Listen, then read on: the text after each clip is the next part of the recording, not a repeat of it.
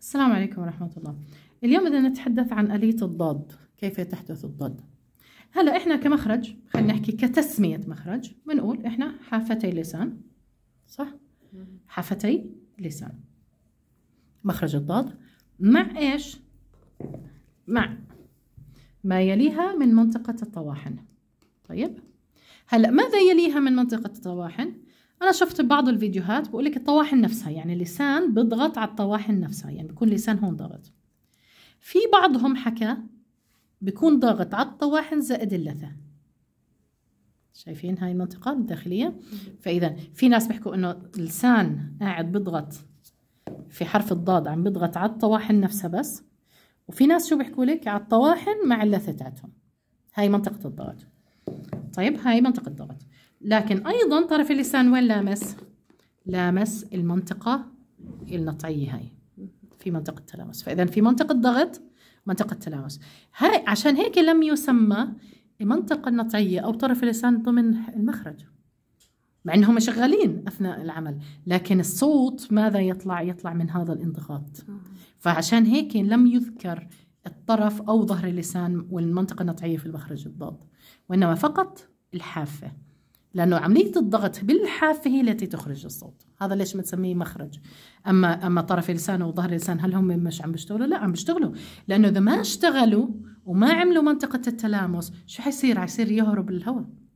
فبتلاقي في ناس بدهم يحكوا ضاد فبتلاقيهم بيعملوا بتحس صوت هواء عم بيطلع. وفي ناس شو بيعملوا؟ لا بدل ما يضغطوا هون بضغطوا هون. الضغط بيعملوا هون بدي أعمل لك ضاد بضغط هون هون متلامسة بدي اعكسها أنا اعمل هون تلامس هون ضغط شو بيطلع معي؟ سمع الدال آه،. مفخمة؟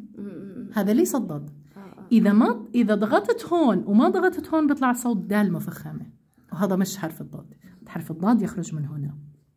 طيب من الضغط هنا. أو طبعا الجهتين يعني في عندنا إما من جهة أو من جهتين بتكون. بس هاي عم تطلع الضاد أما هذه لا تطلع الضاد إذا ضغطت هون أو لقيت الطالبه بتشد هون بتلاقيها بتطلع الدال مفخمه وهذه ليست ضاد طيب؟ طيب من الأشياء اللي كيف طب كيف بدي أعمل حرف الضاد بده يكون أنا عجبني شرح السيد إبراهيم الموصلي كان بتحدث إنها زي المعلقة. بدي لسان يكون زي المعلقه حتى هو مرات بدرب طلابه إنه بقول لهم بدي أشوف اللسان زي الملعقة قبل ما تلمس فيه فوق. بدي أشوف لسانك كيف بيشتغل فشو بدك تعملي؟ بدك ترفعي حواف اللسان وترفعي وسطه بينما تتركي عفوا ترفعي طرفه.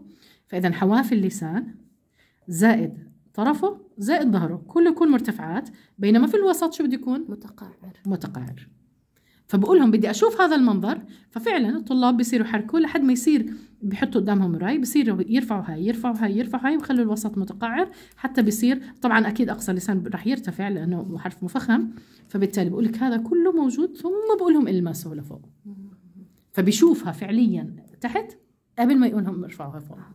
ليش؟ لأني أنا بدي الصوت ينحصر في هاي المنطقة. ويعمل استطالة إنه يمشي من وراء لقدام. إذا ما كان هذا التجويف موجود وممتد أمامي خلفي كان ما بحدث. طيب فبالتالي أنا بدي أشوف هاي التقعر وارتفاع الحواف مع الطرف والظهر قبل ما أبدأ المأساة. هذا إذا كان الطالب عنده غلبة فيها. غير هيك اني أنتبه لمنطقة الضغط. ما تكون الضغط أمامية تكون الضغط من الحواف. هي منطقه هاي بس تلامس. وبرضه التلامس ما يفك. لأنه يا إما بيعمل لي قلقلة أو بيعمل لي همس للضاد وهذا كله غلط. طيب من الأشياء كمان اللي بدنا ننتبه عليها على الضاد إذا هاي هي المنطقة. هاي هي التلامس الآن. هيك؟ بدي أمشي بالصوت من الخلف للأمام لحد ما يمسك مع منطقة التلامس. هاي بنسميها استطالة. طبعا بتكون استطالة الضاد مع أطول شيء حرف الضاد لما يكون شدد وهو موجود عندنا دائما بالفاتحة فبيكون أحسن تدريب لنا مع سورة الفاتحة ولا ضالين. في عندنا ست حركات في عندنا الضاد نفسها الضاد المشددة بتكون أطول شيء.